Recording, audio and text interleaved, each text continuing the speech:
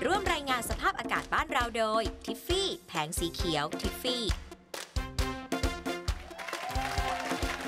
ยิ้มยัดให้ดีๆเด้อเฮ็ดให้งามๆแม่พูดแล้วล่ะข้าตั้งแต่เว่าอยู่หันมาซอยเขาเฮ็ดเถอะแม่ น้องอุ๋มน้องอิมคะคุณผู้ชมมาแล้วค่ะ ทักทายคุณผู้ชมก่อนค่ะ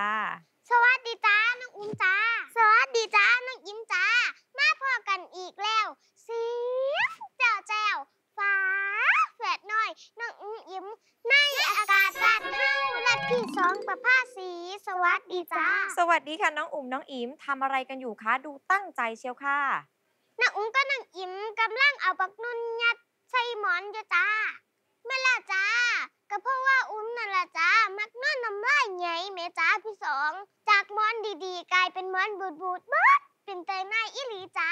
พี่สองมาซอยน้องอุ้มอิมยัดหมอนเดบ่จ้าโถได้เลยค่ะ สบายมากแต่เดี๋ยวตอนนี้เราไปเช็คสภาพอากาศบ้านเรากันก่อนค่ะ จ้า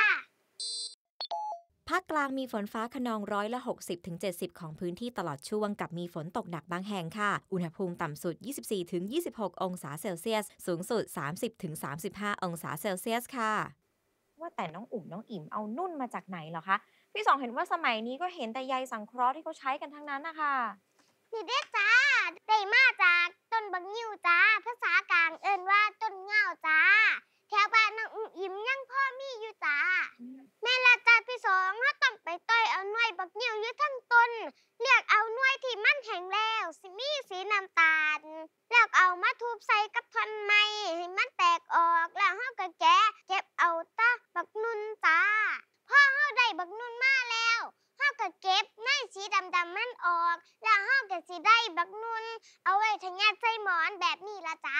อืมอย่างนี้นี่เองค่ะ เอาเป็นว่าเดี๋ยวพี่สองช่วยเอานุ่นยัดหมอนดีกว่าเนาะแต่พี่จ้าสองแนะนำนะ ควรจะมีหน้ากากอนามัยปิดเอาไว้สักหน่อยนะคะ ไม่อย่างนั้นเดี๋ยวเราจะเป็นภูมิแพ้กันซะก่อนนะ ตอนนี้ลาท่านผู้ชมกันก่อนนะคะ บ๊ายบายค่ะ